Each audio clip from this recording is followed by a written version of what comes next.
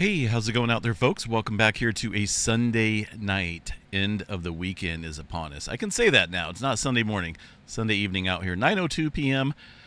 California time, October 27, 2024 is the date. Latest activity shows some movement there into Southern California with a 3.3 earthquake coming in. Also being picked up there on the uh, Parkfield, California seismograph station. So let's go ahead and check out uh, California, see what's going on just offshore here, off to the northwest of Santa Barbara. Just the latest quake out here to uh, strike the Southern California area. Looks like this is uh, very close to the Lompoc area, being felt by a few folks out here, it looks like. Let me check out the uh, origins here real quick, see what we got for magnitudes. This has not been reviewed yet by a seismologist. So let's see here 24 stations reporting quite a few uh, threes there. Yeah, it's probably going to register around a 3.3 or so. 3.33. There you go. Interesting. Uh, so a little bit of shaking going on out here across the uh, Southern California area. Not a highly populated region there, but it is along the coastline. And see which fault system that is off of.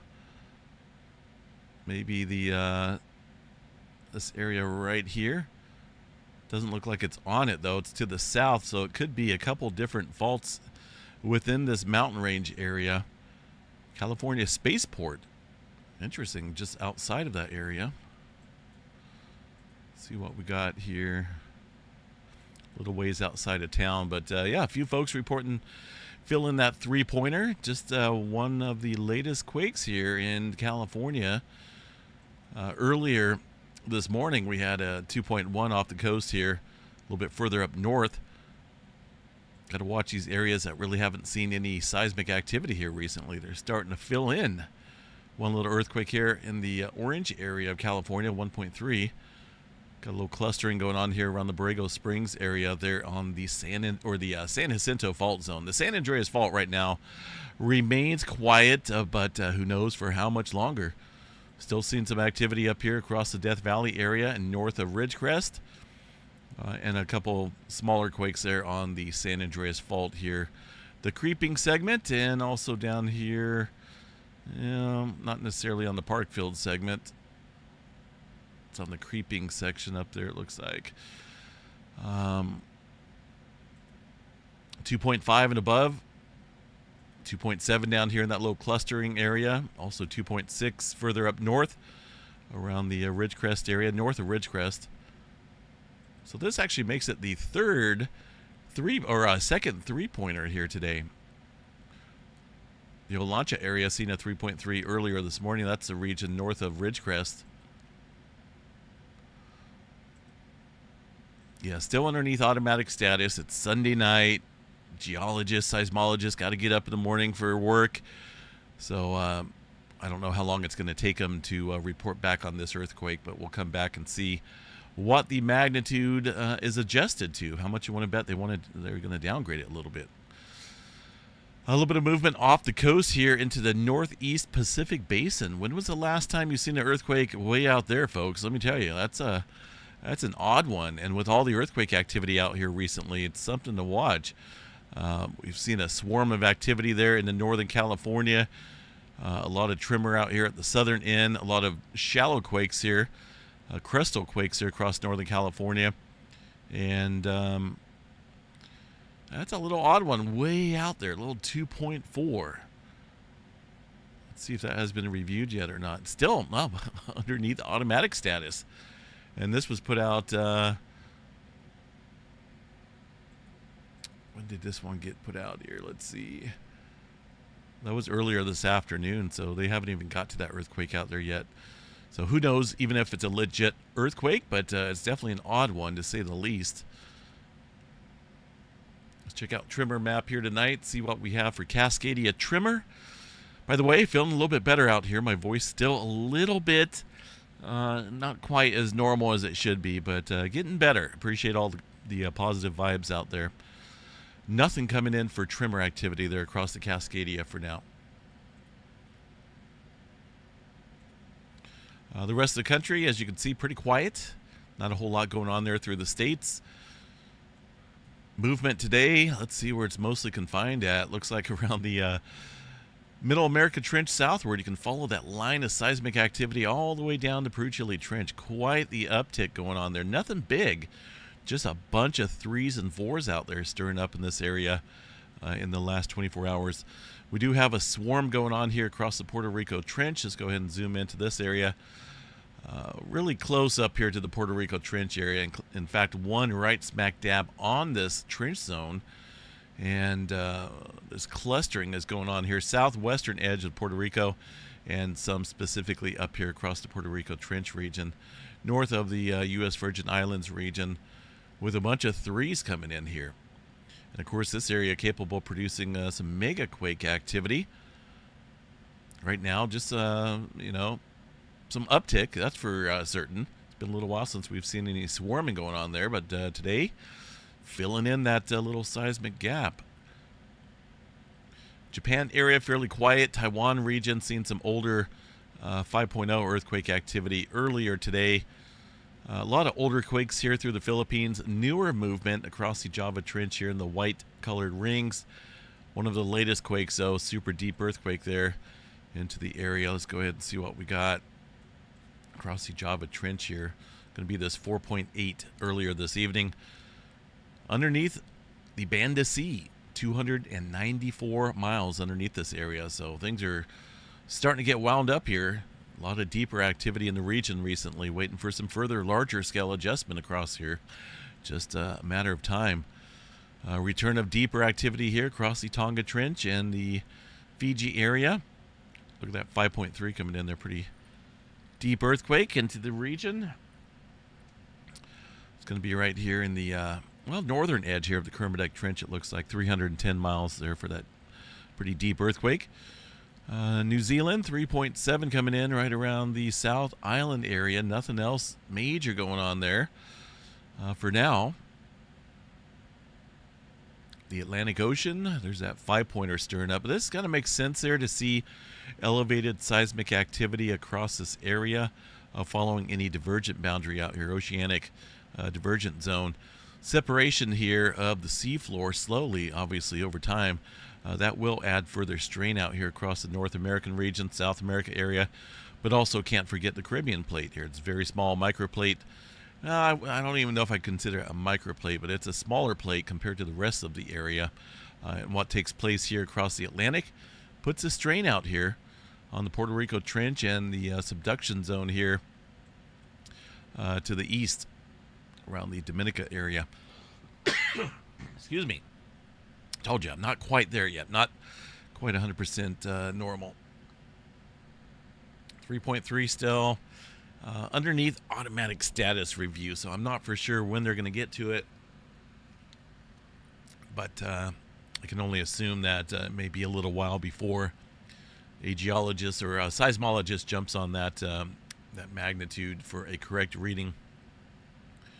Because right now it's underneath the uh, preliminary data um, Australia or Australia, Alaska here, up north, a couple twos and even a three pointer earlier today. Or that was actually late last night. So things relatively quiet there through Alaska, aside from some microquake activity.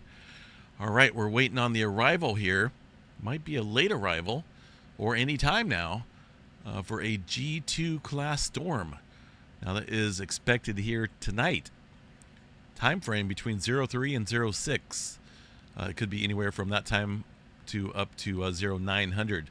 Right now, current UTC time 04. So we're already into the 03 to 06 time period and nothing coming in yet in terms of elevated aurora activity. But uh, we could see things ramp up here this evening to a G2 class storm pending that uh, CME didn't miss us. I don't know how it would miss us because it was technically a full Halo CME, so something should show up here in terms of elevated uh, space weather activity here for the auroras, but we'll definitely keep an eye on it. Uh, amplified proton events continuing there over the last couple days from all the flaring going on. That's some charged protons, elevated charged protons there affecting uh, the um, ionosphere. No major flares recently. Uh, looks like we're seeing a little M flare right now. Had a two point, uh, what was this one? M 2.59, it looks like, earlier today. There's our last X flare. That produced a significant CME out here, somewhat Earth directed, so we should see it anytime tonight. Uh, let's see here. Flare threat remains elevated here, folks. 30% chance for X flare. Uh, M flare at 75, C flare around 99% chance. Now, these last couple M flares have been popping up here around the newer active region on the northeastern limb, northeastern limb of the sun there, and that's from 3878. A more dynamic look at it here shows uh, some intermingling of the magnetic cores there, or magnetic um, polarities. So that's uh, obviously an area of watch here with a couple different M flares recently today. Uh, this region down here still got some growth here within this area that's produced that X um, flare here recently, the, the one that we're waiting on in terms of the CME from that X flare. Uh, that produced that X flare a couple days back. Uh, this other area back here, it's starting to look a little disorganized. Not really expecting too much from this area. More so from this region, potentially this area, uh, and of course this newer area up on the northeastern limb has uh, potential. Uh, let's see what we got here for the numerical models. Watching California here getting hit with some uh, cooler weather. I noticed the models are not all the way out in terms of loaded, uh, being you know fully computed here, but we'll go ahead and check and see what we have. Storm system, man, that's a huge storm system coming in right around Halloween on the day and evening as well for Halloween. Uh, so it's going to be a wet one. Maybe even down here in Northern California, it's starting a little bit look a little bit wetter down here uh, in my neck of the woods. But for certain Oregon, yeah, it's going to be one of those trick or treat evenings where the uh, parents are driving the kids around in the car and stopping at uh, you know each individual house and letting them out. Unless you go out with an umbrella, I used to do that when I was a kid. Walk around in the rain with the umbrella and uh, go trick or treating. A little bit of rain didn't stop me. Uh, severe weather potential here as we head into the middle of, of this coming week as well. A fairly wide swath of severe weather expected across uh, the portions there. Uh, day four is going to be at the Storm Prediction Center here. Already has a 15% chance here of some severe weather on day four. Now, that is going to be on Wednesday and the Thursday of this coming week. So that's when things could really pop up in terms of tornado potential out there. So we'll cover that as we get a little bit uh, closer to this time period. All right, still holding at a 3.3. Has not been reviewed yet. But obviously, it's been it, it was an earthquake. People were feeling it. Also, it showed up there on the Parkfield section of the San Andreas Fault. There looks like there was a couple earthquakes prior to that as well. I don't know. Uh, maybe intermittent data loss there on that station for some reason. Uh, anyway, that's it, folks. Um, hope you had had a good weekend. We'll catch you guys back out here for the uh, the Monday update. Hopefully by tomorrow I'll be back to normal. Just been keeping up on all the uh, antibiotics and all the other home remedies out here in terms of you know boosting my immune system and uh, trying to kick this whatever it is. It's either bronchitis or pneumonia. Maybe not pneumonia. It's just, I think it's more of a bronchitis. It's a really weird feeling uh, around my throat area. Not tonsillitis, is not anything like that. Um, don't have a fever. Just really weird.